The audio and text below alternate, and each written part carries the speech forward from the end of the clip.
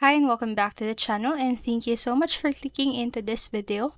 So in this video, I am going to teach you how to verify email in your character AI. So make sure that you stay until the very end of this video so you won't miss any important step or information that I am going to show you and tell you in this video. So without further ado, let's get on it. So first, what you need to do is to open the beta.character AI in your browser. And then after doing so, you will be able to see this on your screen. So after going to the character AI, you will see this sign up button and then logged in button on the top part.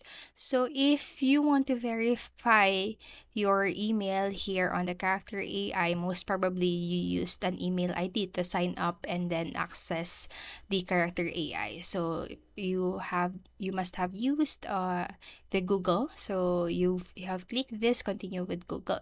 So for you to be able to verify your email, just visit your email inbox and check if there is an email from Character AI that asks you to verify your email ID. So if you can't find an email, you can check in your spam folder as well. So there may be a link in the email that you have to click to verify your registered email ID and you can start using Character AI. So just make sure that the email that you uh, the email account that you have logged in into your Gmail is the same account that you have connected in your character AI. So that's it for this video and I hope this helped you and if it did please make sure to like, subscribe and hit notification bell button.